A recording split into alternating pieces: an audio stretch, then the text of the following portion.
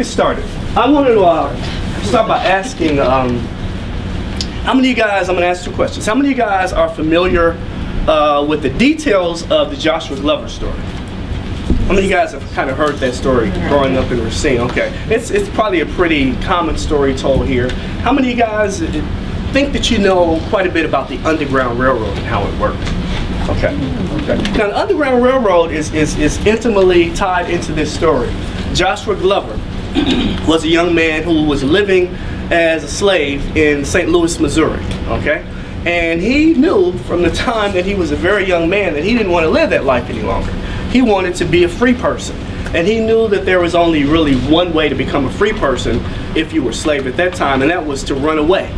And so typically, um, most people who ran away did not really have help. There wasn't like a place you could go and say, okay, here's the Underground Railroad. You're the Underground Railroad guy. What do I do? That's usually not how it worked. Um, typically what happens is a person just made their escape because they didn't know anything about the Underground Railroad because it was a closely guarded secret for the most part. The people who were the conductors on the Underground Railroad, the blacks as well as whites, who helped blacks escape, they didn't want anybody to know who they were. And in many years after the, the, slavery ended and the Underground Railroad disappeared, there were still a lot of secrets to the Underground Railroad that had never really been told to anybody around the country. And so really the, the history of the Underground Railroad wasn't really written or talked about until many years after slavery ended in the country. Then it was okay for people to say, okay, I was a conductor on the Underground Railroad, I helped X number of people escape. Whereas people like Harriet Tubman, it was very well known that she was going back into the South helping blacks escape on a regular basis, but she was never captured. Simply because the people that were working with the Underground Railroad kept very good secrets they were under the threat of death if people found out that they were part of this. So they were not about to tell some stranger. It was a very close-knit group of people that were involved and they were dedicated to the extent that they were risking their lives to help people escape. So this is just one of those stories from the Underground Railroad. One of these stories that I, I found fascinating when I first learned the story of Joshua Glover. I was fascinated by two things. First, I was fascinated by its connection to Wisconsin. I hadn't really known much about the Underground Railroad and its workings in Wisconsin. I knew there were historical markers in different places. I knew that Wisconsin was part of the Underground Railroad, but I hadn't heard any specific story about the Underground Railroad in Wisconsin. And secondly, I was really surprised that Milwaukee played a part in it. I'm, I live in Milwaukee. I've lived in Milwaukee since I was about seven years old, moved to Milwaukee in the early 70s, and I can remember all of these years I was in Milwaukee going to school until I left uh, in 1983 and eventually came back to Milwaukee in 1993. I never heard the story of Joshua Glover. In all of those years of schooling, all of those history classes that I sat in, I never heard Joshua Glover's story. It wasn't until I became involved with America's Black Holocaust Museum and started to do the training for the other griots. Now griots are people at our museum when it was open, we had a physical facility. Those are the people that most museums refer to as docents. So we would give the tours to people at the museum. And so when I first became involved with the museum in 2002, I went through a training program where they had all of this information that I had to learn in order to kind of talk about the things in the museum, to talk about our founder, Dr. James Cameron's story of his lynching he survived. So it was a ton of stuff that I had to learn, uh, and I had to learn it pretty quickly. Fortunately for me, I was pretty well versed in history because I've always loved history. And so a lot of these things I was well versed in. And then uh, uh, about a year after I became this griot and was there giving tours on a regular basis, I took over the griot training program.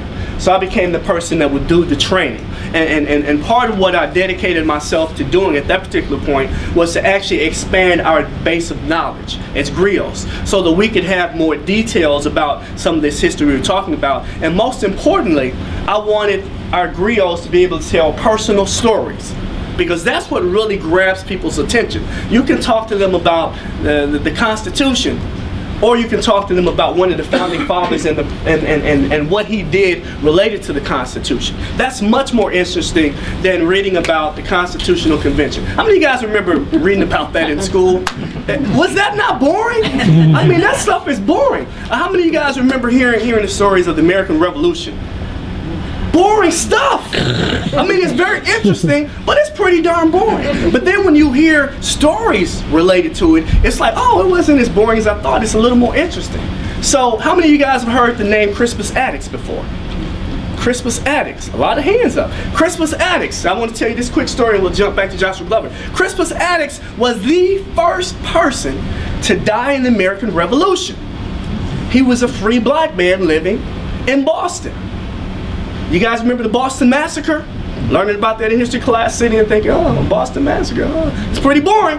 But if they were to tell you the story of Crispus Attucks being that first person shot by those British soldiers, it would have actually made the Boston Massacre story a little bit more interesting. So that's what I like to do when I do these presentations about history. I like to pick stories. And this story to me is such a fascinating story that I wanted to just come and, and share it with people because it, it's, it's, it's just a mind-blowing uh, story because it gives you little details of things that happened to him and some of the people that were involved in really helping him to gain his escape. So what I want to do is to, I'm going to have to do this kind of weird because this projector is not doing what I wanted to. So this is, is, a, is a, a photograph, actually a picture that was drawn of Joshua Glover by one of the people that actually helped him escape, this man by the name of Olin. He was part of this group that helped Joshua Glover escape and eventually get to Canada. And he, he gave his testimony about what happened and how they went through this process of helping Joshua Glover escape. And he drew this really, really nice picture of Joshua Glover. I'm like, man, the guy was pretty artistic. I, I mean, I, would probably drawn stick stick figures or something if I was drawing a picture. But it's a very good rendition. And so Joshua Glover appeared in Racine about 1852 after escaping from St. Louis. So he was enslaved in St. Louis from the day he was born. In 1852, he decided it's, it's time for me to go. So he started to work at a sawmill uh, in town, and he lived in a cabin just outside of town. And he lived a pretty normal life for a couple years. But then March 1854, he was at his cabin with some people he knew, and some people came in and they captured him and they said, it's time for you to go back to St. Louis. And you can imagine Joshua Glover was not very happy to hear those words. So this is when it becomes interesting to me. because I love history, I have to give you guys a little background. Okay, so we all are familiar with the fact that slavery was a legal institution in the United States for many, many years, right? United States became an official country in terms of having a government and an entity that we could call a constitution, and not in 1776 with the Declaration of Independence, but in 1787 at the Constitutional Convention. So the Constitu Constitutional Convention in 1787 is when we officially became a nation because now we had a legal document which set forth all of these different laws on the federal level. Most of us have never read much of the Constitution. We may have read little bits and pieces. Most of us are familiar with some things like the Bill of Rights, the right to bear arms, all of these different things, but we very rarely ever delve into the Constitution as a document. And so one of the things I wanted to do was kind of delve into a little bit to show you how that particular document, which hasn't changed. That's the interesting thing about the Constitution. The Constitution is the same today as it was on the day it was written. They've added some stuff to it, but they've never taken anything out of the Constitution. So that, that, that makes it very interesting to me. All of those original things that were in it are still there. Now, they've made amendments and changed things and got rid of this, that, and the other, changed certain things, but for the most part, all of those things that in the original Constitution, there are at least 10 parts of the U.S. Constitution as it was originally written that are directly related to slavery. However, the word slave and the word slavery are nowhere to be found in the U.S. Constitution until 1865 with the 13th Amendment, the amendment that abolished, abolished slavery. That's the first time the word slave or slavery is ever in the U.S. Constitution. So why is it that our founding fathers wrote this document and talked about slavery in all of these different places, never put the word slave or slavery in the document? It goes back to 1776. The Declaration of Independence. Who can recite a little bit of it for me? Who can recite the beginning of the Declaration of Independence? And then the course of human That was in the course of human events. necessary. Oh, It's kind of hard, isn't it? yeah. But the part that everybody remembers, oh, Wow. what's the part that everybody remembers about the Declaration of Independence? All men are created equal, right? So we have a document that says all men are created equal. Yet, 11 years later, the Constitution creates a system that makes sure that all men are not created equal or treated equally because it makes slavery a federal, legally binding institution moving forward. Okay? So that's important. Yes, sir. What does it call slavery or slave? Well, when they refer to the slaves, there's several different terms they use. One term they use is other persons. Okay? So we'll, we'll look at a little bit of what they say. Because there's one part that I think is very interesting right here. 1787 U.S. Constitution, Article 4, Section 2. How many people have ever read that part of the Constitution? Nobody, right? I didn't think so. It says, no person held to service or labor in one state. No person held to service or labor in one state. No person held to service or labor. That's the nice way of saying slave. Okay? That's what it means.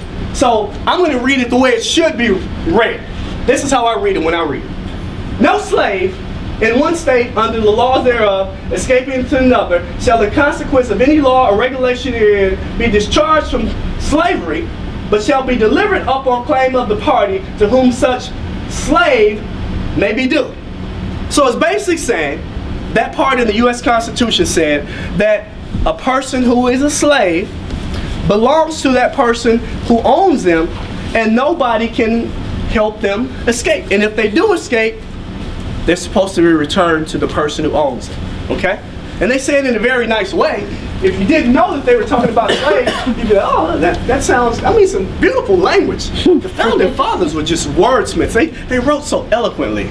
But they did it to hide their true intentions, which is to make sure that slavery was a legally binding institution in the nation overall.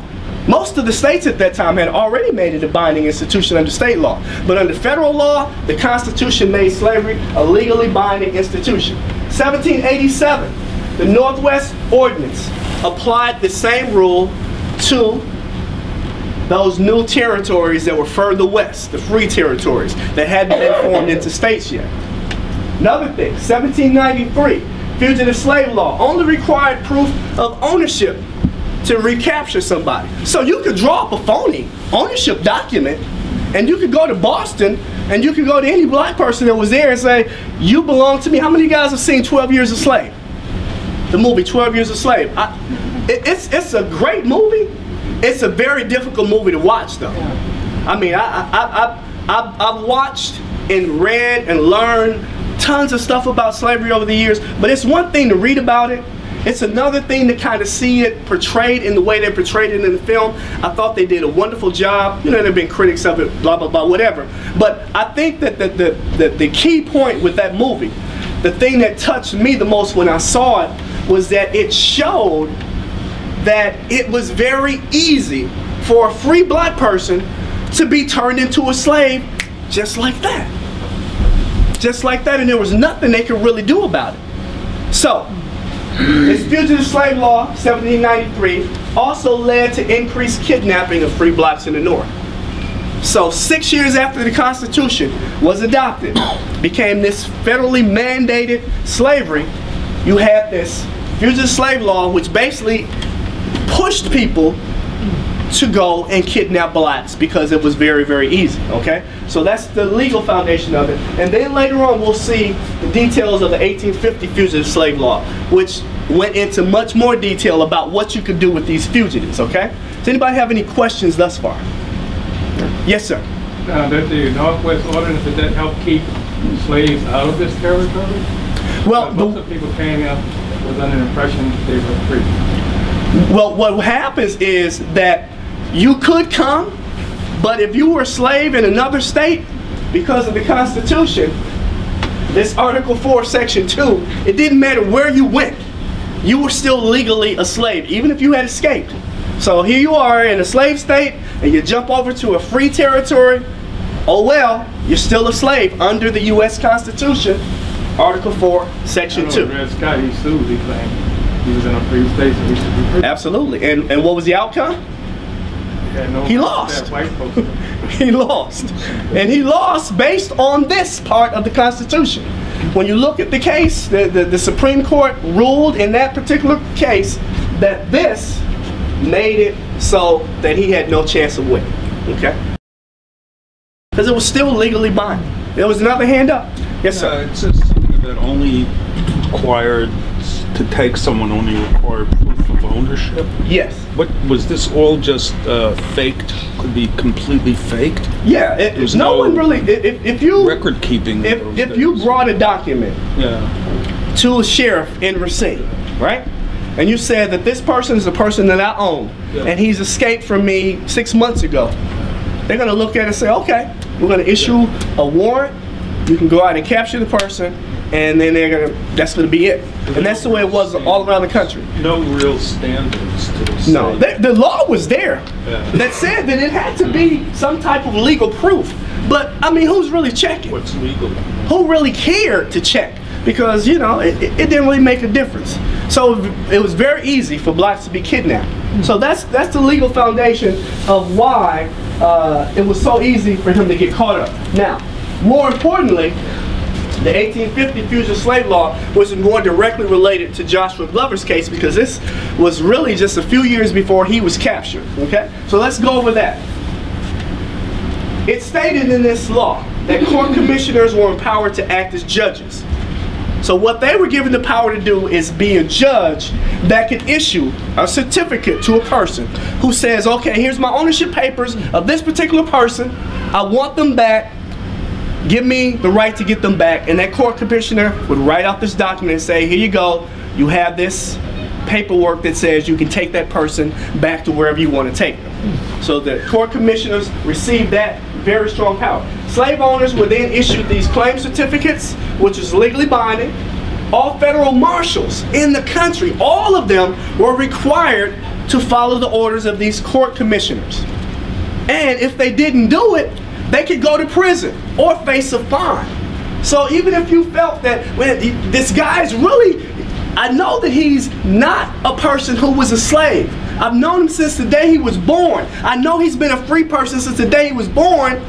But if there's a piece of paper that says otherwise, as a U.S. Marshal, you have to follow the law and you have to arrest that person. You don't have a choice. And if you decide not to, well, they'll just give you a thousand dollar fine. And believe me, a thousand dollars a lot of money back at that time. It's a lot of money now, but back then, holy cow, twenty thousand dollars worth in today's money. So Marshall was also liable for the full value of the escapee. So imagine you're a marshal and you go out and you capture this person and you're supposed to bring this person back and turn him in so he can be returned down south and that person escapes well guess what you are now liable to the person who owned him so if that guy that you let escape was placing the value on this individual as a thousand dollars or two thousand dollars or whatever it is you have to pay that person as a U.S. Marshal. So do you think the U.S. Marshals are going to take a chance and let somebody escape easily? Probably not. They would do everything in their power to make sure once they caught you that they were going to keep you. Okay? Another thing. No fugitive could testify in court. So even if you knew that you were a free person, and they had this documentation, they captured you, went to court, and you could get up and say, listen, man, I have 50 people that know I was free. I can call them all. They would not let you stand up in a court of law and testify. You couldn't do it. So even if you had proof and you could tell me had proof, it didn't matter because you couldn't go into a court and say that, listen, you couldn't go into the court and do it. So that made it even more difficult. In addition to that, there's a thousand dollar fine and six month jail sentence for harboring, aiding, or abetting a fugitive.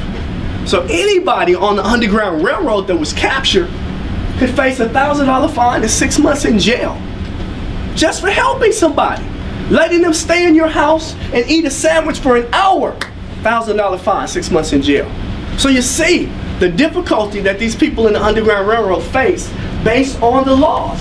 Fugitive slave law, 1850. Commissioners were paid. Now this is the key part. The commissioners were paid $5 if they didn't issue a certificate to take that person away. However, if they issued a certificate to take that person away, they got $10. Hmm. Financial incentive to give the certificate? Doesn't sound like a. Now listen, if I went to you, sir, and said, I'll give you $5 for that hat if you keep it, but if you give it to me, I'll give you $10. What are you gonna do with the hat? Give it to you. you gonna give it to me, right? It only makes sense. So this law made it so that these commissioners were not going to screw themselves over by not issuing these certificates. They were making more money by issuing certificates. And that's a very important part of this. The reason I wanted to introduce you guys to this law is because it, it kind of puts you in the mindset of where everybody, all of these players were in these stories during slavery. It wasn't just old Joshua Glover, it was all of these people around the country that had to follow this law. This was a law of the land. You couldn't get around it. There was no way to get around it. Or at least people thought there was no way to get around it. Joshua Glover had a different idea though. Underground Railroad. One of the things that I found out about the Underground Railroad that really shocked me was I always heard that the Underground Railroad was getting to freedom up north to Canada, right? Now imagine you're in Biloxi, Mississippi. up north is a long way away. Canada is really a long way away, right? Or imagine if you're from a little town like I lived in, Charleston, Mississippi, which is up in the northern part of the state of Mississippi, about 70 miles south of Memphis, Tennessee. The north is pretty far away. And I can attest to that because I've driven from Milwaukee to Charleston, Mississippi numerous times back and forth. 700 and some odd miles. It's a long way in a car.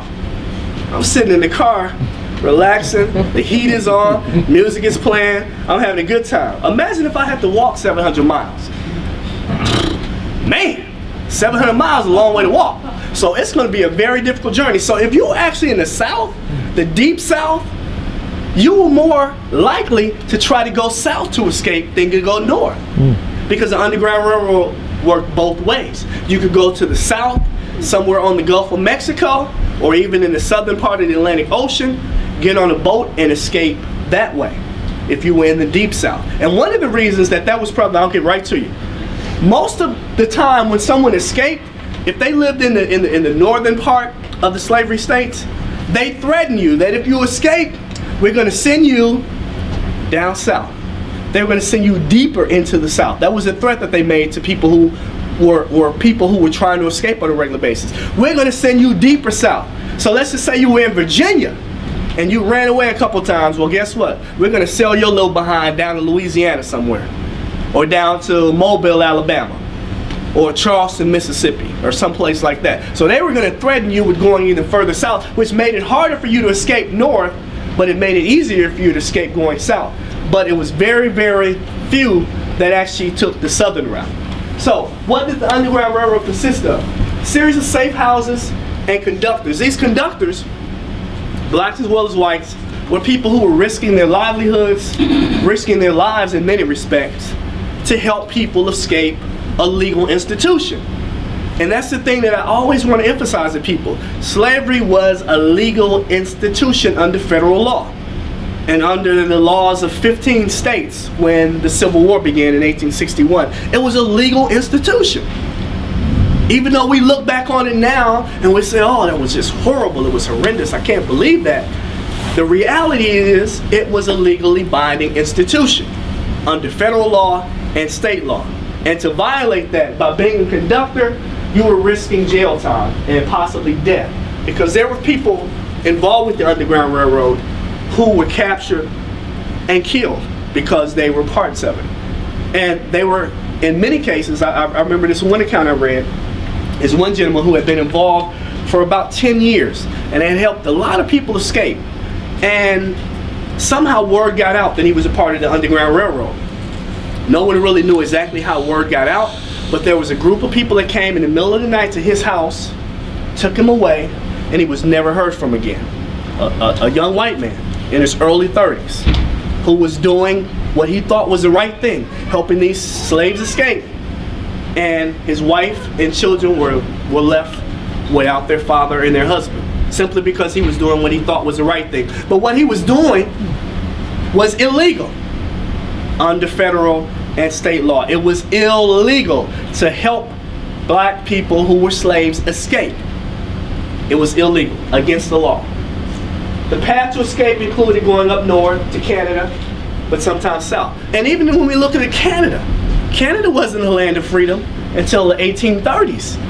Canada was a part of the British Empire.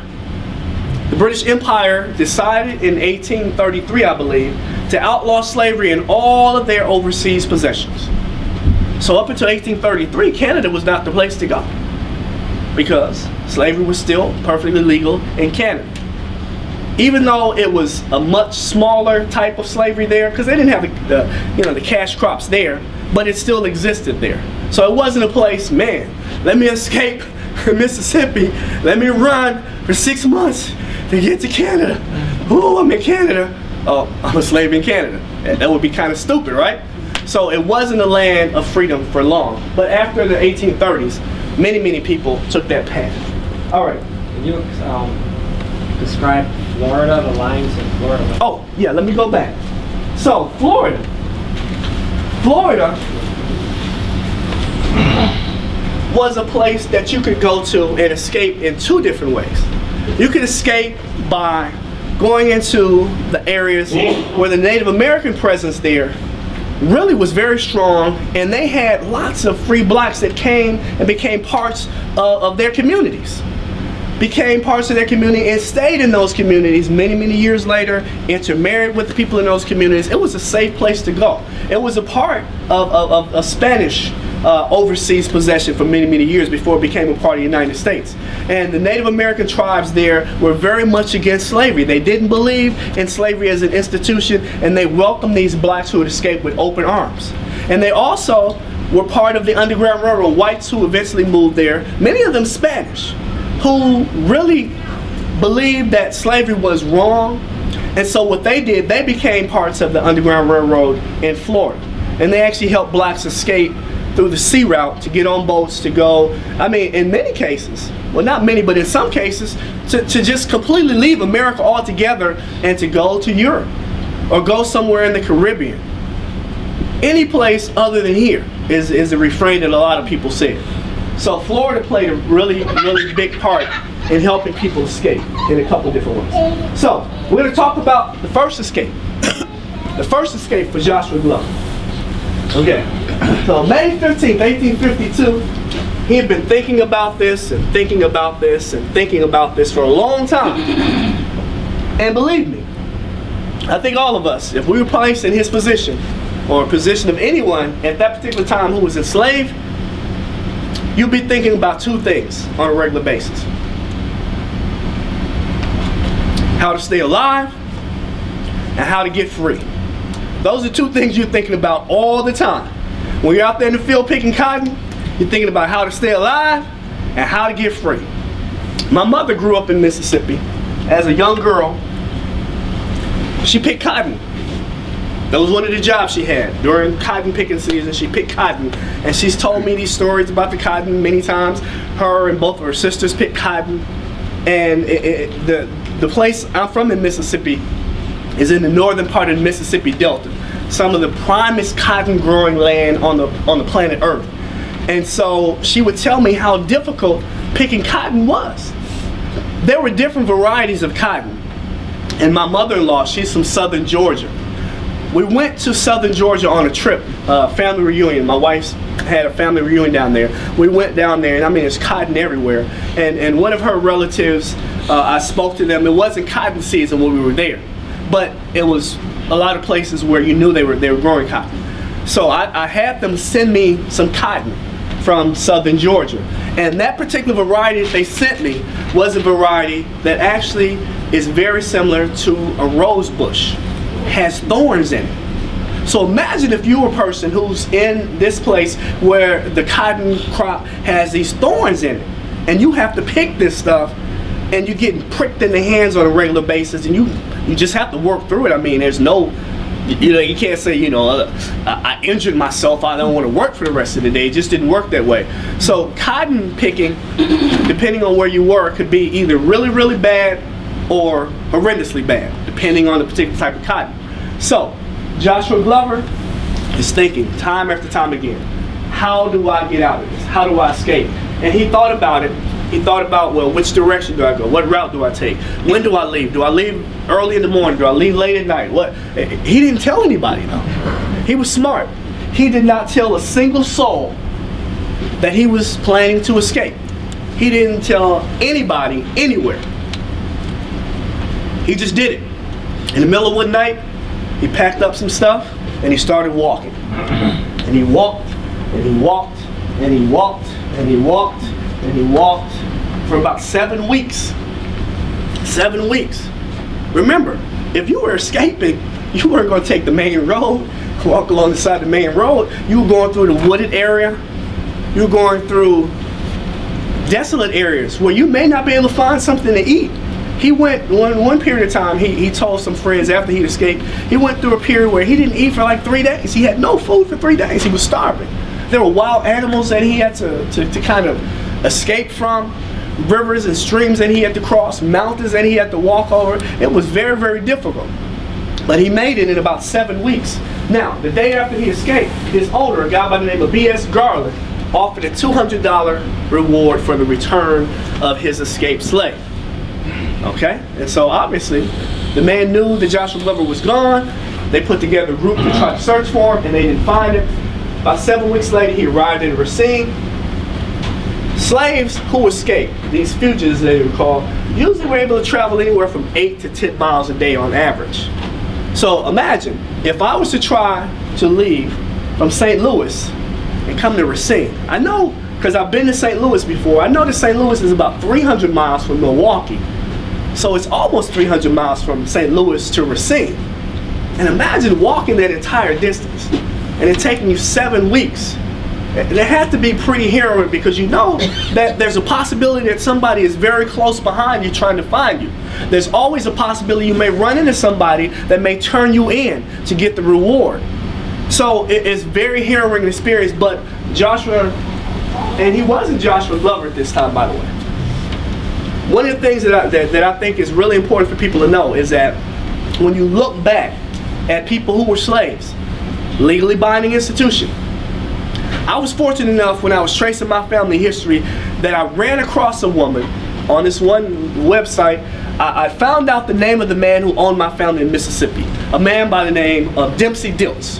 Came over from Germany, bought some slaves in South Carolina, eventually about 10 years later moved to Mississippi with them and owned my family. My, my family, my mother's side are, are the Diltz, D-I-L-T-Z. And so I, I, decided to trace my family's history, and I was fortunate enough to go back and find the name of the guy that owned my family, which most people aren't lucky enough to find out. But I was running across this guy's name, and I wanted to know more about him. So I left a message on the message board, genealogy uh, message board, and this woman contacted me. She was like the great, great, great, great granddaughter of Dempsey Diltz. And so her and I shared all this information. She shared with, with me her entire family history of Dempsey Diltz because she had been tracing her family history. So she sent me this huge packet of information and I mean I was just I was blown away because now I could kind of connect my history and my family to not just slaves but to actually go back and say okay these are people with names and I was able to kind of go back and start to find out names and what what they had up until slavery ended in 1865, the, the U.S. Census is done every 10 years. They had what they call a slave schedule. It's a document that listed each slave that a person owned. So they go from, from, from county to county, city to city, and they document the slaves that you own. So let's just say you have 10 slaves. Think Dempsey Diltz, at his peak, he owned uh, something like 22, 23 slaves. So I'm able to look at this slave schedule, and they have on this document, they have their first names. No, they don't. They don't have their names. There are no names. If you're a slave, you don't have a name in the U.S. Census. There's no name there. Mm-hmm. It's just male, female, and age. That's it. No names. So these are nameless people. They have names, but they're nameless on these slave schedules. So not only were they nameless on the slave schedule, but they didn't really have an official last name. Imagine that. They didn't have an official last name. Joshua changed his name once he came to Racine to Glover. So he traveled this distance. He finally gained his freedom after this long, treacherous journey. He got to Racine, and he was able to live like a normal person for a while. For a good two years, he did a couple odd jobs here and there, but eventually, he was able to hook up with a job at the sawmill. He changed his name to Glover. He gave himself a last name. For the first time in his life, he had a last name that he could claim as his own. And he got it from the name of a woman who had owned it previously by the name of Martha Glover.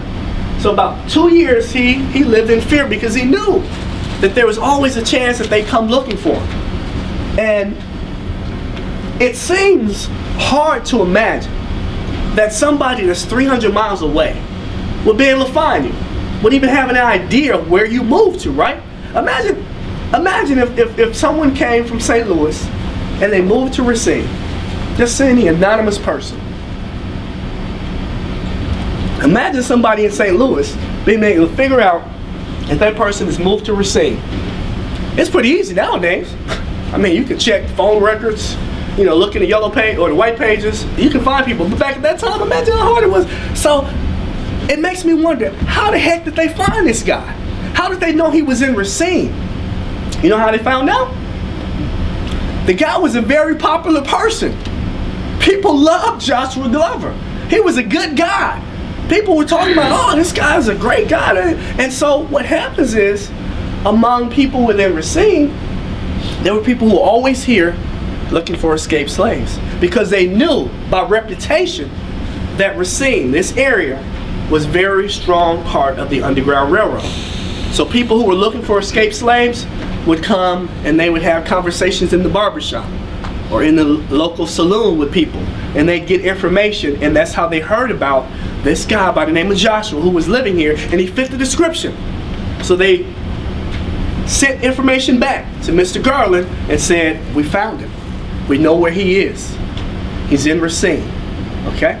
So they made plans then to, to come and get him. So, at the time, there was only about 100 black people living in Racine. Only about 100. souls. close-knit community.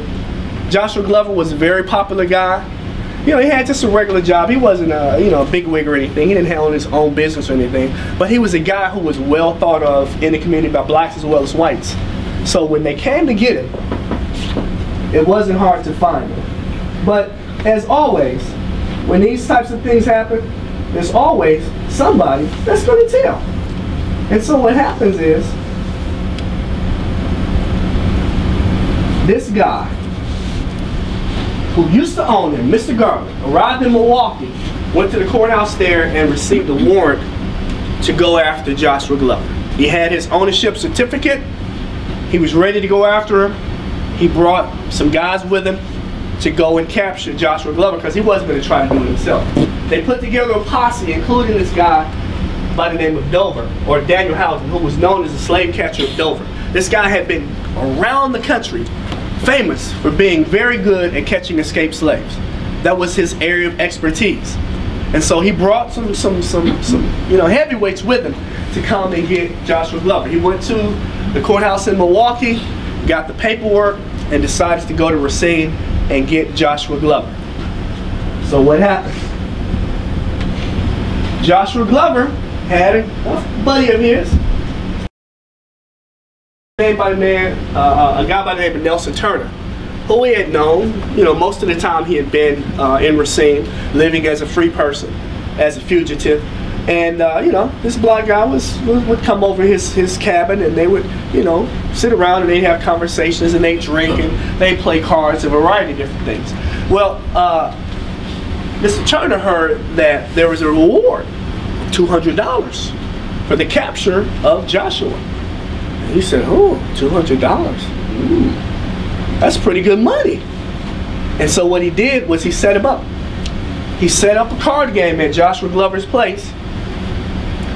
And he made sure that Joshua Glover got plenty of liquor in his system while they were playing cards, okay? So they're sitting, having a good time, laughing, drinking, ah. And all of a sudden, somebody bursts through the door, and it's Mr. Garland and a U.S. Marshal by the name of Cotton. They arrested Glover after beating him pretty badly. They pistol whipped him. He was pretty groggy. They threw him in a, in a little wagon and they drove off in the middle of the night. Now, one of the things that, that really kind of hurt them in terms of the way they captured Joshua Glover was the fact that people heard that they brutalized him, that they beat him very badly. Now, this is a guy that was very popular in Racine. Everybody who knew him liked the guy. So it's one thing to hear about some guy that's, that's a person that's not popular that nobody really likes, and you hear about them getting beat down, eh, it's not a big deal. But a guy that is considered to be such a nice person, and you capture him, and you don't just capture him and put him in handcuffs and, and drive him off, you beat this guy bloody, knock him unconscious. And the people in Racine looked at that as not being captured, legally captured. You know how they saw it? Kidnapped. They saw it as him being kidnapped. They said, look, this, this is a resident of Racine, a well-respected individual in our community, and some people came in the middle of the night and kidnapped him. They were not happy. They were not happy at all. Even though the law said didn't matter. The law said they had every right to do what they did. The people in Racine said, we don't care about the law. That doesn't matter to us. This was a good guy. They came and they beat this man with a pistol. They left him bloody and unconscious. And he's a part of our community. We're going to do something to help him. We're not going to just let these people come and kidnap one of our citizens of Racine. We're not going to stand for it. That's what they said. And they believed it. They not only said it, but they believed it and they acted on it. So, word spread around Racine. One of the local papers here, the editor contacted local paper in Milwaukee. Word spread to Milwaukee because that's where they were taking him to the jail. Now, they made a huge mistake. They made two huge mistakes. One was beating up Joshua Glover and having people find out that they beat him. Number two was that this is about 2 o'clock in the morning when they captured him. They, instead of taking a direct route to Milwaukee, they figured, well, you know, people are upset. We're going to take this circuitous route and get around all that. They ran into Mother Nature. Hmm. A bad storm happened, and the roads were impassable, and it took them forever to get to Milwaukee. And as a result of that, it gave the people in Racine and the people in Milwaukee time to find out what happened. And as a result, the largest group to ever assemble in Racine met in Haymarket Square, demanding that we do something about this kidnapping of Joshua Glover. What are we going to do? I don't know. I know what we're going to do. We're going to go and get him. We're going to go and demand his freedom. We're going to go to Milwaukee and we're going to go to that courthouse. We're going to demand that they give this man his freedom because they didn't go through the legal process of doing what they did. They kidnapped him in the middle of the night. And so this group left on a boat, went to Milwaukee, and the sheriff in town had actually issued a warrant for the people who had taken him for assault. Yes, sir. Uh, you said the the number of people that was in Milwaukee, you said was hundred people. and He was one percent of that. No, in, in Racine, there was a hundred In black Racine. people living in Racine. But there's hundred men from Racine arrived in Milwaukee. Most of them were So, white. so everybody that was li- at the time. no, there were a hundred black men. There were a hundred black people living in Racine, Oh. which was one percent of the population. Okay. Now, this big crowd of 100 men, they were mostly community leaders from around Racine. They got together and said, we're going to go to Milwaukee and demand this man's freedom. And that's exactly what they did. So they gathered together and they brought with them the sheriff who had a warrant for the arrest of Mr. Garland and Marshal Cotton for assaulting Joshua Glover.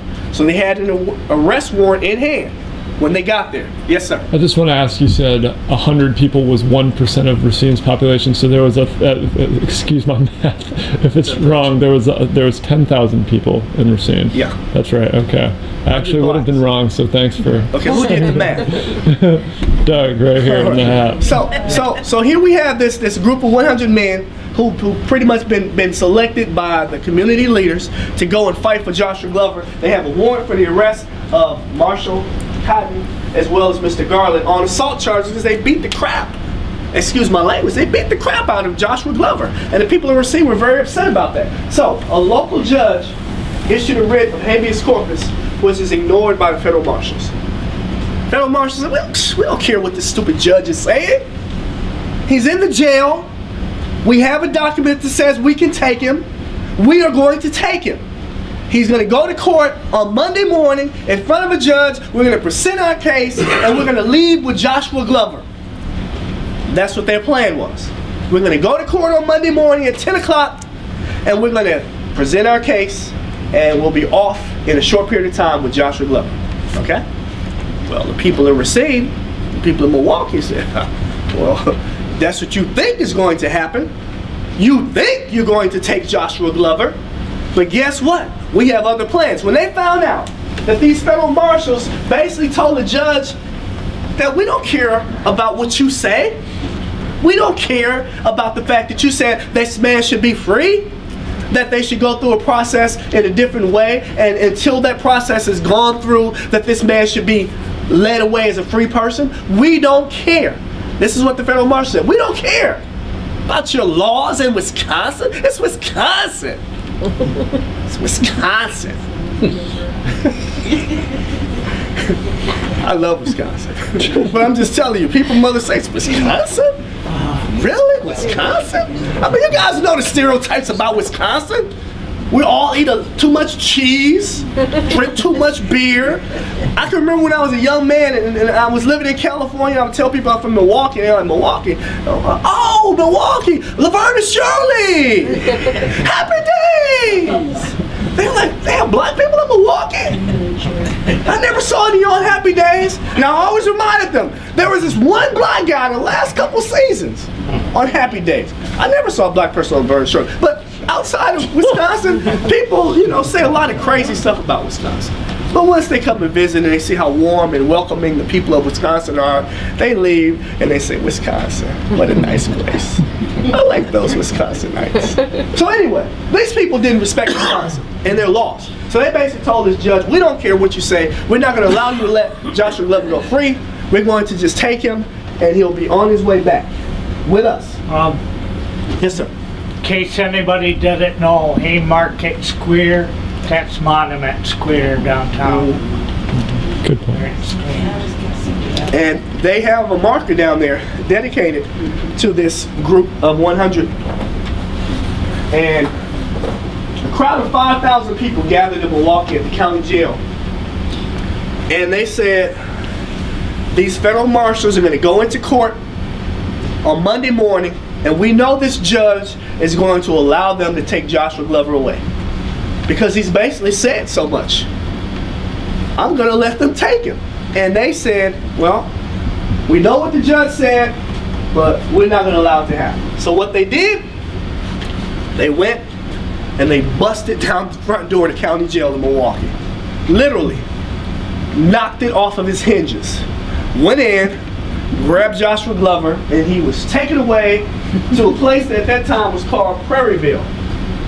It's called Waukesha now, or as people outside of Wisconsin call it, Waukesha. Yeah.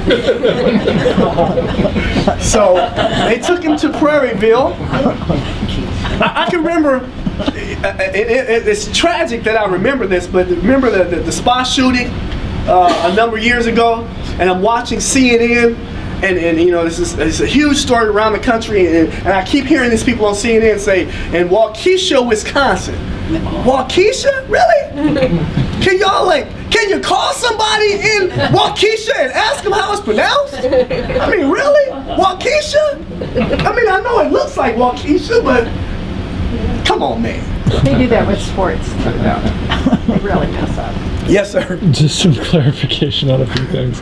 How do you pronounce Waukesha? No, I'm just joking. uh, for so the 5,000 that gathered um, at the county jail, the 5,000 were helping to. br- Yeah. Okay. They were there to make sure he was busted out. This Okay. included the 100 from Racine. Okay. And, and, and, and word spread around Milwaukee. There was a lot of compatriots in Milwaukee who wanted to assist them in making sure that Glover would get his freedom. And so there was there was a hundred who came from Racine with the the gathering in Monument Square, then Haymarket Square. How many people were gathered at that original? That they gathered there. th- I- I've looked and there's no specific number, but they say that it was close to a thousand people. Okay.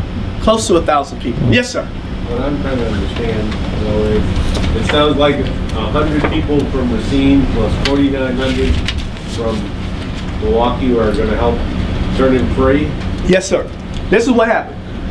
People from Racine who knew Joshua Glover and, and, and, and, and consider him a, a respected member of their community wanted to make sure that they went to Milwaukee to present their case that he was kidnapped. And so they got a group of the leading citizens that went on this small boat, took the trip to Milwaukee to present their case.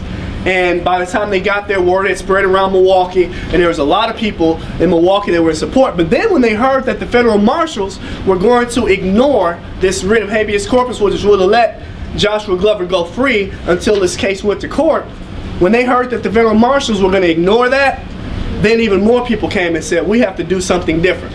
And what they decided to do was to, to knock the hinges off of that door, go into the jail and take him out so that he could gain his freedom. So, he went from Waukesha, which was Prairieville at the time, to a little town called Rochester, which is just south of it, and kind of almost directly east of Racine. He stayed there overnight. They brought him back to Racine. Why would they bring him back to Racine? Anybody imagine why would they bring him back to Racine? Does that sound kind of crazy? that They're gonna bring him back to Racine. Why do you guys think they brought him back to Racine? Because of the lake? Because he lived there? Mm. Because they knew that was the last place they would look for him. like, oh, oh, yeah, okay, he escaped from Milwaukee. Yeah, let's go check Racine. Maybe he went back home to, to, to, to get a pair of boxer shorts or something and he left, you know. Of course they wouldn't think he would be back in Racine. So they brought him back to Racine and they, they someone mentioned a boat. They were trying to get a boat to take him from Racine across the lake and get him to freedom, but they had some issues with the boat. So what they did, they, they brought him back to a little town called Spring Prairie, which is, is close to Burlington. And he actually stayed there in Spring Prairie for a little while while they went through and tried to come up with this new plan. There were several people that they kept handing him off to during this process. And eventually, they brought him back to Racine, and he spent several weeks in Racine before they were finally able to get this boat for him. And he got on the boat, and he went off and made it all the way to Canada through, you know, the rest of the Underground Railroad, and he lived uh, as a free person as a result of that. So a very kind of weird route that he took to get to freedom. So, let's look at the ramifications of this case on Wisconsin law. Because Wisconsin did something that was very odd, uh, that wasn't really done very often.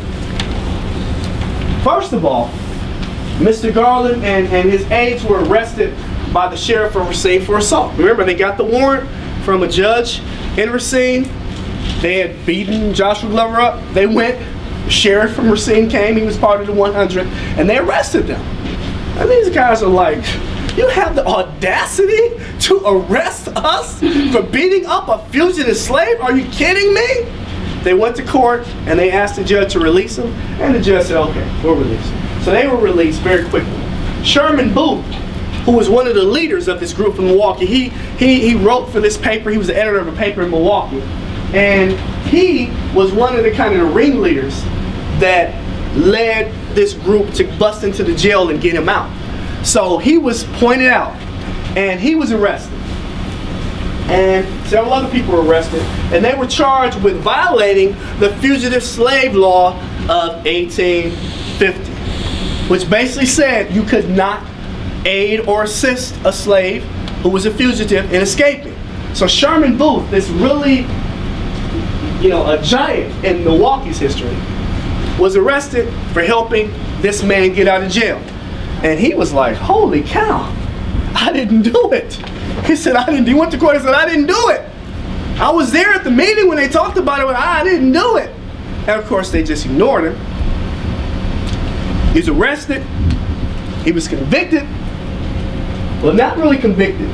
Something that was close to being convicted, which basically, it may as well have been a conviction. They basically never really allowed him to go to court.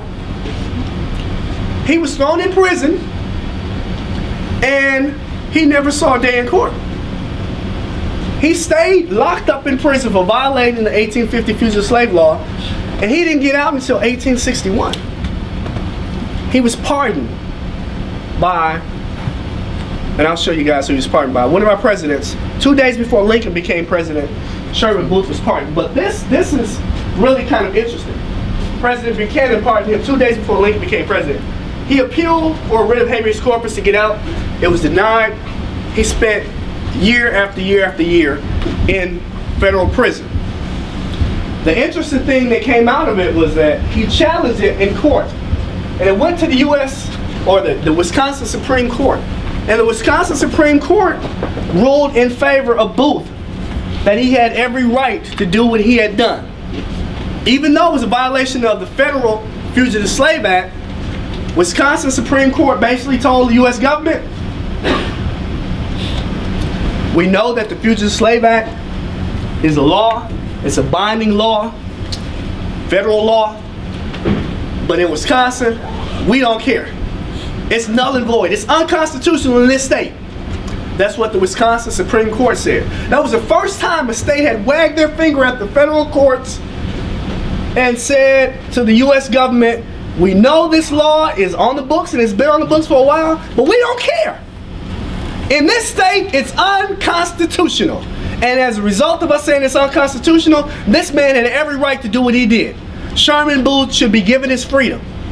So they wagged their finger at the federal government and said, we don't care, it's unconstitutional, and they were the first and only state to do that. The first and only state in the country to challenge the Fugitive Slave Act and say it was unconstitutional. Now, we know how the federal government works. They don't really care what Wisconsin says, what their Supreme Court says because it was still a legally binding institution. The Fugitive Slave Act was still legally binding around the country. So basically, what they said was that you know what, you may tell us that it's unconstitutional. You may tell us that you're going to allow people to violate this law, but if we capture them, they're going to go to federal prison.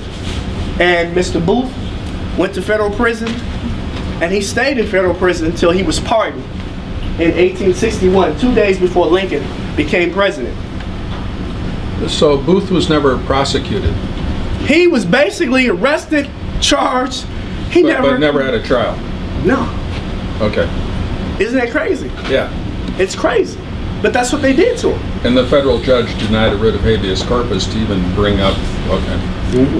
It's crazy, but Yeah, that's crazy. exactly what happened.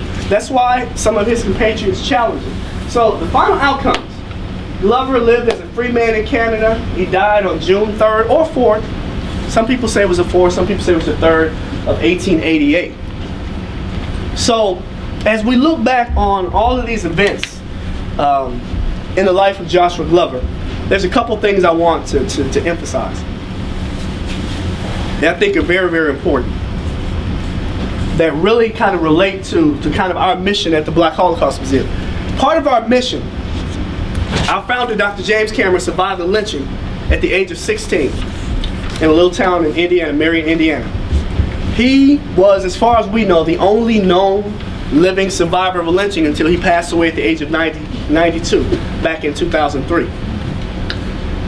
He spent four years in prison in Indiana as an accessory after the fact of murder. So he did these four years. He was a very angry young man when he got out. But he decided to dedicate himself to becoming a better person, to make amends for the crime that he had participated in, even though he had left before his two friends shot and killed this man by the name of Claude Deeter. He decided that he was going to take that forgiveness that he had been given by Mr. Deeter's family and the way he was treated by the warden of the prison he was in, who treated him extremely well, allowed him to go and run errands for him, deliver mail, all of these different things. He, he realized when he was when he was in prison those four years that he was very angry, that people tried to kill him, that they put a rope around his neck and were about to lynch him and kill him, and they had already killed his two friends, and they brought him up right next to the tree, and he's looking up at his two friends hanging from this tree dead. And imagine the anger he had because he said many of these people that he saw in the crowd that were spitting on him, beating him, kicking him, calling him all kinds of names were people that he knew. People that he considered to be friends of his. And he had all of that anger inside of him. All of this just tremendous anger. And so he's sitting in prison and he's angry and, and, and he realized at some point, because of that white warden treating him so well, he said, man, why am I mad at every white person? It's crazy for me to be mad at every white person because not all of them feel the way that that group of 15,000 or so felt at that courthouse in Marion, Indiana. I have to forgive these people who tried to kill me. I have to find that forgiveness in my heart and realize that I need to reconcile those differences that I have. And so when he created America's Black Holocaust Museum, part of his mission was to obviously to document this history and share it with the public, but more importantly to offer a safe place for people to come and talk about these parts of American history. So that you can have a comfortable conversation without feeling like, man, if I say the wrong thing, then somebody's gonna point their finger and call me this and the other. We wanted the museum to be a place, and, and once we reopen in a, in a physical facility again, which is going to happen, I can't say when, but it's going to happen. It's going to happen. We wanted to continue to be that type of place. I was fortunate enough when I was there as a griot for the last, basically the last six years the museum was open, giving tours. And I was there practically every Saturday from the time we opened till the time we closed giving tours. I would be there during the week occasionally giving tours. And I had, you know, family reunion groups. I had, when I was there during the week, I had people that would bring uh, students from schools. Uh, I would have professors who would bring some of their students from colleges around the country, around the state. And, and, and I mean, it was amazing to me how people from other countries, other countries would find out about this little museum, because it wasn't very big, this little museum in Milwaukee, founded by this, this man who never really had much money and never made any money from the museum. But everybody in Milwaukee so long, he made all that money. He never made any money for the museum. But this little institution was so powerful, it drew people from around the world. Because people wanted to hear what? Stories. The stories. They wanted to hear the stories. And that's the drawing power. To hear the stories. We would tell the stories of people who were lynched. We would tell Dr. Cameron's story, obviously. We would tell the stories of other people who lynched. We would tell the history of Jim Crow, where the term comes from. We would tell the history of the segregation laws and how those laws changed in the course of the year. One of the things that I used to love talking to people about was presidential ownership of slaves. If you look at the first 16 U.S. presidents, 12 of the first 16 were owners of black people. 12 of the first 16 were owners of black people. The one who owned the most was our first president, George Washington. Over the course of his life, he owned nearly 400 black people. Thomas Jefferson was the second most slave owning president. He owned somewhere in the middle, uh, mid 200s. And those are things that we don't learn in our history classes, but they really impact how we look back on this history and how we not necessarily um, gauge the importance of people, but really it gives you uh, uh, the ability to see people differently than what you've been taught. Because I can remember, for instance, I can remember being taught for many, many years, and I still hear it all the time, uh, Abraham Lincoln is a great emancipator. He's a great emancipator. He freed the slaves. And you would think from all of this, these things that I learned, he freed the slaves because he, he, he, he felt bad for them, he loved them, he wanted them to be free. But that's not what it was in reality. Lincoln had views on slavery and he had views on slaves. They were not the same. He hated slavery as an institution because he knew that it was an institution that was ripping the nation apart from its foundation. One of those kind of hidden parts of the U.S. Constitution that nobody really pays attention to. When it was written in 1787, there was a debate about the importation of slaves. Okay, it was perfectly legal to import Africans, continue to import Africans into the country. But the northern states, who had by that time pretty much gotten rid of slavery, did not want the southern states to continue importing blacks in. And there was a very specific reason. You guys have probably heard of the three-fifths clause of the Constitution, which most people misinterpret it saying that blacks were three-fifths of a person. That's not the way it worked. This is the way it worked. when the government was set up and they set up the House of Representatives, it's based on the population in each state. So the larger your population is, the more representatives you have in the House of Representatives, right? So the northern states knew that they could count everybody in their states, and the southern states were like, well, we can count everybody too, including the slaves. Even though they don't have a legal name or anything else, we can count them too. And the the states were like, no, I don't think you should be able to count them. Because they're not really citizens, they're, they're not like everybody else. Even though we say all men are created equal, eh, now we can't count all of them. Because if we do, your numbers in the House of Representatives will be way bigger than ours. And we don't want to lose that power. So what they did, they came to a compromise called the three-fifths compromise. And they said, what we'll do is we'll count some of them. we'll count three of every five of them. So if there's 50 of them, we'll give you credit for 30 of them for population purposes. The other 20 we'll just ignore. So that was important because it maintained the balance of power between the North and the South. And so this balance of power was very important. And so when you look at this history and you say slavery as an institution, the importation of slaves, if the South could continue to import more slaves, their population would continue to grow. And the North didn't want that to happen. So they came to another compromise. It said, we will allow you to continue to import slaves until January 1st, 1808. And at that point, it will be illegal to import slaves into the United States. Because the North knew that if they gave them 20 more years of doing this, that would be enough. They gave more than 20 years, they would continue to have this representation problem moving forward. So they capped it at 20 years. January 1st, 1808, became illegal to import Africans into the United States legally. But it continued. Nobody really enforced the law, but nobody really cared. The South really didn't care because, well, you know, they were going to count the same, pretty much the same number of people because at that point, you weren't really importing that many people to begin with. The slave population grew simply by the nature of people having children. So it grew by that way. So you didn't really have to import a lot more people in. So that was another implication, was this importation. And so that was an issue from 1787 that was a divisive issue. A very divisive issue, this issue of slavery. Imagine, when go back to what I said about the word slave and slavery not being in the Constitution. It wasn't in there because they were too embarrassed to put it in there. That was number one. But there were 10 places in the Constitution where slavery was directly affected by it. So imagine this. You have this issue in 1787 that's very divisive, that, you know, they're having these debates about it, debates, debates, debates. They draw up the Constitution, but the debate doesn't end there. It continues moving forward. Lincoln was well aware of this debate and this divisiveness, and so what he said was that I hate the institution of slavery because it's wrong. It's wrong to treat people this way. Secondly, it's an issue that's dividing the nation.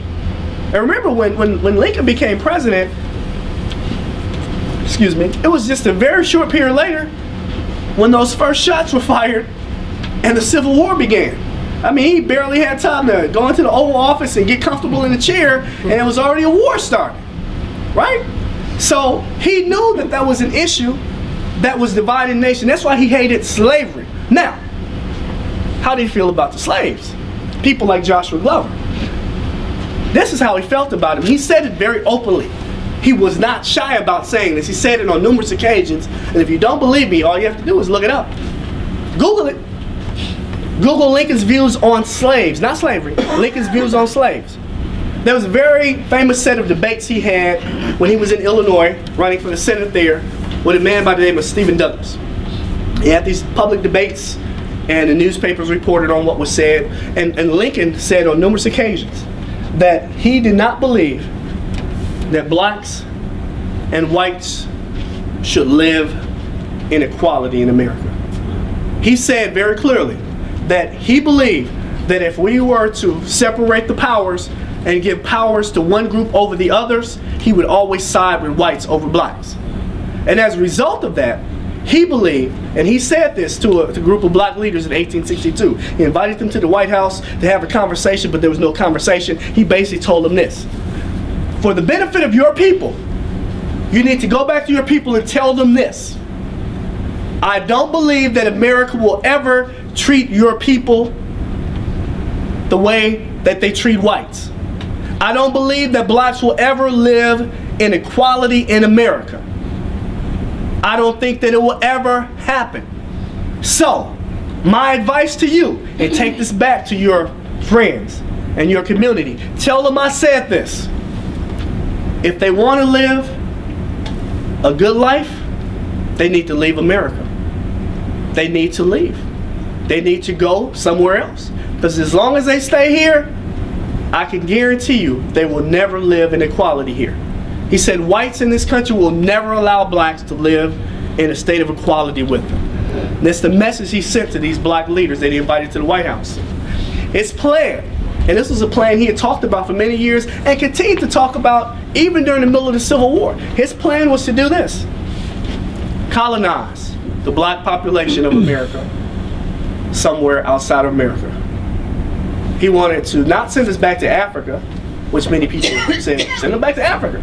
Even though at this particular time, most of them had never even seen Africa because their families had been in America for generation after generation. The first Africans arrived, most of us have heard, oh, the first Africans arrived in America in 1619. That's not true either. First Americans arrived in a British colony in America was in 1619, but they had been here already as an enslaved population under the Dutch since the 1500s. But Lincoln believed that in order for America to move forward and have peace and not have this divisive issue, that we had to get rid of the blacks. He said we should free the slaves and put them on ships and send them somewhere else. He actually got the federal government to agree to this. And they put aside some money to buy a piece of land in Panama, a little place called Chiriqui, to buy a piece of land to send all of the blacks to after they were given their freedom. That was Lincoln's plan. Even though people around him was like, man, you must be crazy. This is crazy. There's like four million people. How you gonna send four million people to, to this little place? And so he tried to, to, to, to see if they could buy some land in Haiti. The Haitian government said, we're not gonna allow you to do that. And it's important that Haiti said that because Haiti was a place that was founded by slaves who basically revolted against the French, kicked their butts off the island, and said, We're starting our own government. And the first free republic in the Americas outside of the US was Haiti. And so Haiti said, We've we fought against slavery. We fought against this tyranny where these people enslaved us and treated us horribly, and now all of a sudden we're gonna just let you kick these people out of the country? Are you kidding us? We're not gonna do that. You must be crazy. And so Haiti was out. Panama was kind of too far away and, and too expensive. So even though he had put money aside to buy this land, they never were able to follow through on it. And eventually, in, in the last few months of his life, he kind of came to a different mindset about it. But he never he never relinquished the idea of colonizing blacks outside the country. What he did say, and this is one of the things that led to his assassination. John Wilkes Booth said this. He said that he came to the decision to kill Lincoln because of these words that came out of his mouth. President Lincoln was reluctant to allow blacks to fight for the Union Army and Navy even though people were pushing him. Frederick Douglass was always in his ear about it. Members of his cabinet were pushing because for, for a majority of the Civil War, the North was losing. They were losing. They were getting their butts kicked by the South. And they knew that they had to have some help. And so eventually he allowed blacks to fight. And it turned the course of the war.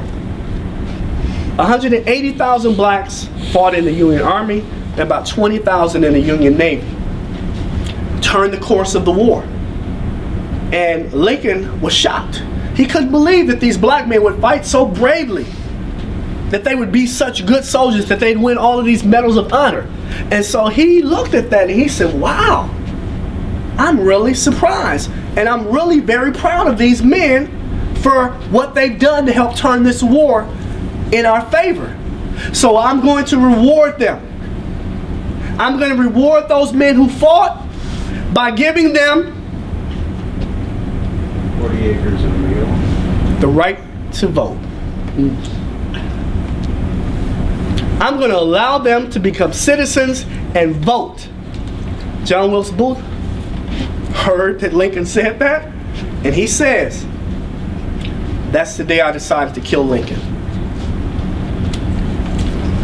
That's the day I decided to kill Lincoln. Because how can he have the audacity to give these slaves the right to vote and become citizens? Are you kidding me? I'm going to kill that man because of that. And that's exactly what he did. So, to kind of tie all this up, I believe very strongly that the issues we have as a nation when it comes to race are very powerful issues that still remain. And they remain mainly because of two reasons. Number one, we don't like to talk about it. That's the number one reason. We are afraid to talk about it. And number two, and this is way more important to me, what we think we know about American history, we don't really know much about American history. Most of our beliefs about how race and racism works is based on bad information that all of us have gotten. And I'm not saying that because you had bad history teachers or, or, or the textbooks are bad or anything. That's just the way America has always presented itself. I always use this example, and I may have used it once before when I was here. As a parent, you have two children, and your one son is very good in school. He loves school. He goes on to college. He becomes a doctor, lawyer, and you're like, oh, my son did a wonderful job. And then you have another son who really, you know, didn't like school that much, may have dropped out, went from dead end job to dead end job, became an alcoholic, maybe a drug addict. And as a parent, this is what we do. We're hypocrites. This is what we do as parents. The son who became the doctor, we're always, he became a doctor because of such a wonderful job that my wife and I did. We're wonderful parents.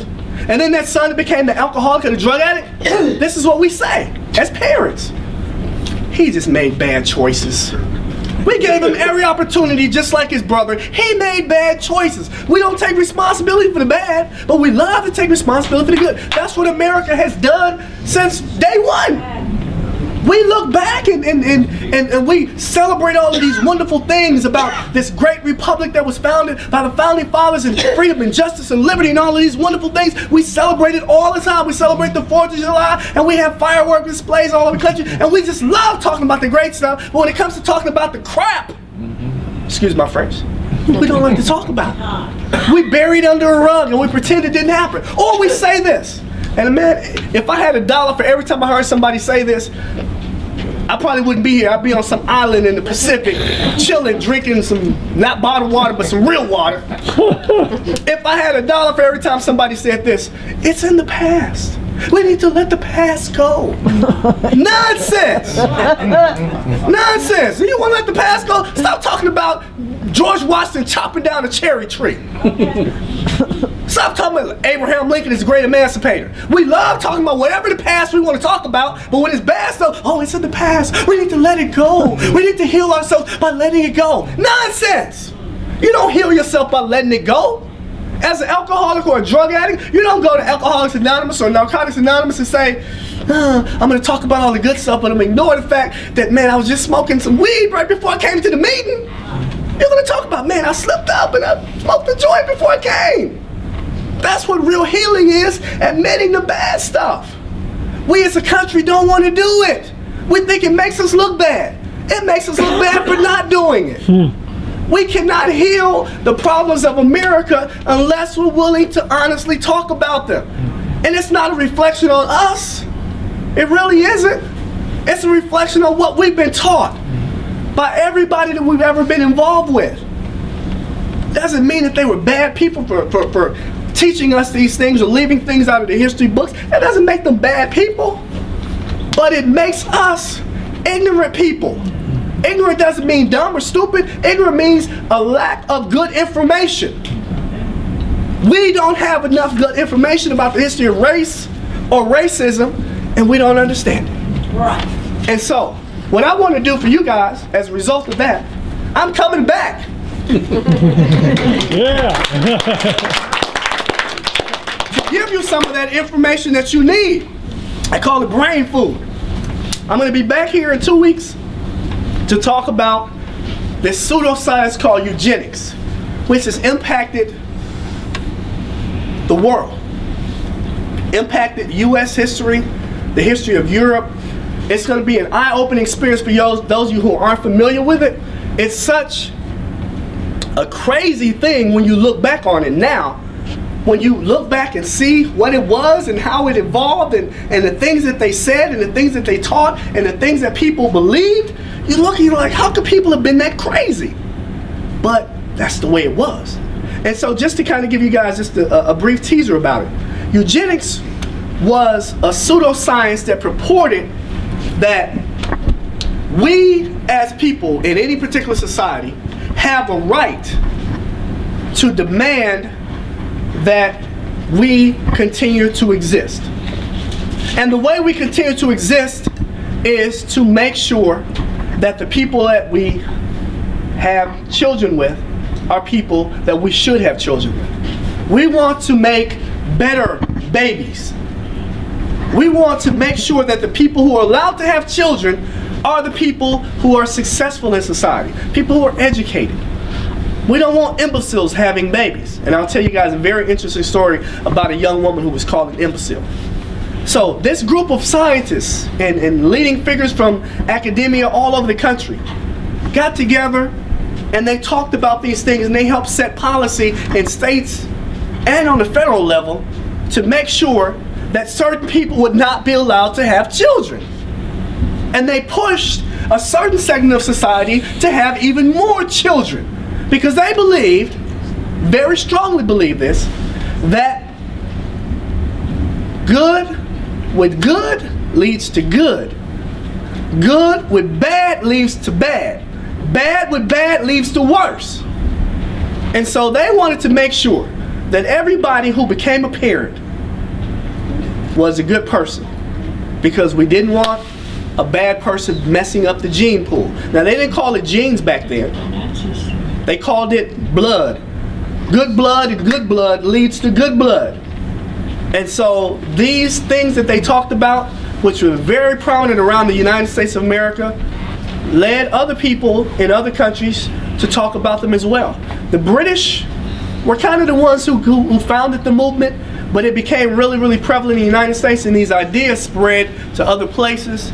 And one of the groups that really grabbed a hold of these ideas and ran with it in a different direction than anybody had ever run with it before were the National Socialist Party in Germany, also known as the Nazis. And what they did with it embarrassed eugenics movement and made it not necessarily disappear, but go underground. So we're going to talk about that because I think that's very relevant for us as Americans, black, white, whatever group we may belong to, because it affected everybody. Because any particular person could have a finger placed on them and say that you are not a person that should have a child. Anybody could have been picked. And there was nothing you could do about it. If they picked you, they put you in this select group and said you can't have a child, you couldn't. And we'll talk about how that worked because it's very important. The other thing I want to share, this last thing, I'm very passionate about race and racism because I think that it's something that once we get comfortable talking about it, once we get enough valuable information, then we can go about the next step of the process, which is to begin healing. You can't heal what you don't know. If you have cancer inside of your body and you don't know it, you can't heal it. Racism is America's cancer. It's been spreading throughout our bodies. The only difference, though, is we've known about it. It's not as if we didn't know. Americans have known about racism since 1787 with the Constitution. They wrote racism right into the document. But this is what they did. And this is why we're so sick today. They ignored it. They ignored the issue. They tried to talk around it by not mentioning slave or slavery. The Confederate States of America, that group that we were fighting in the Civil War, or as the Southerners call it, the War of Northern Aggression, they drew up a constitution also. They almost copied the U.S. Constitution word for word, with one big exception. When they were talking about slaves, they use the word slave. Hmm. When they talk about slavery, they use the word slavery. They were honest. They were not. Listen, we know who we are. We're not going to pretend to be someone else. We're not going to be hypocrites. But the U.S. founding fathers, and I hate to say this, but they were hypocrites. There was nothing wrong with them putting those words in that document because they knew that it existed, but it kind of would have been against these principles that they stood for about freedom, justice, and liberty. So they, they couldn't make themselves look like hypocrites. So they tried to hide it in the language, in that beautiful flowing language they use. But when you look at it, you say to yourself, this is why the problem still exists. They hid it at the beginning, and we haven't had really open, honest dialogue about it. We haven't learned enough about it. So I'm, I'm going to come back uh, probably sometime in May, and I want to do a series on race. It'll probably be probably two or three different events because I want to do I want to go over a detailed history of the concept of race, where the concept comes from, talk about in detail whether or not it's it's a biological construct or a social construct. There's debates about it, back and forth. And I also want to show how the concept of race reared its ugly head and became racism. Because we don't really know where it came from. We just assume it's always been there, but it hasn't. It's developed by people making very intimate decisions about how to treat people based on any particular set of identity that they chose. We can label people any way we want. And this is one of the things that happens. There's a great book that I read called Blaming the Victim. And it says that this is this is the process of victimizing people. Creating a situation where you are allowed to victimize somebody and justify it. This is what you do. You study that particular group, you find something that they share in common, and then you label that a problem. You label it as a problem after labeling it as a problem. So you look at something that they have in common, you say that's a problem. And then you say, that's what's wrong with you because you have this problem. And it makes it very easy for you to justify treating people very poorly. And we'll look at how a lot of people. attention, please. The public library is closing promptly at 8 o'clock. If you have any materials to check out, please do so now. So we're gonna look at- will shut down at 7:55. We'll look at how that process is played out, particularly here in America, and how the ideas of race have led to racism and how it's a continuing, ongoing issue. And uh, I'm hoping that all of you come back and bring somebody with you. I always used to tell this to people at the museum, come back and visit us, bring friends, family members, co-workers, enemies, strangers, anybody, bring somebody with you. Yes, ma'am. Aren't you gonna be here on 26 too? Yes, I'll be on the 26th doing a piece on eugenics, and I'll be back in May to do a series of events on the history of race and racism. So, please come back. Yes, sir. Uh, have you uh, read the book, you know, by Michelle Alexander, The New Jim Crow? Yeah, absolutely. I, I would recommend because a lot of the things here, the history taking place because her husband was a prosecutor and he deferred her a long time not to write the book, but that's exactly what's happening in our prison system. I'm going to tell you something about that book. I bought the book, I read it, I love the book, but I hate that book. Let me tell you why I hate it. Because I started writing that exact same book back in 1996, but I never finished. My book was called Casualties of War America's Drug War and Its Effect on Young Black Males. I was writing that book, but too stupid to finish it, and I'm still mad at myself. Just wait a couple of years. My wife keeps telling me, what's stopping you from writing it down? Yeah, like, everyone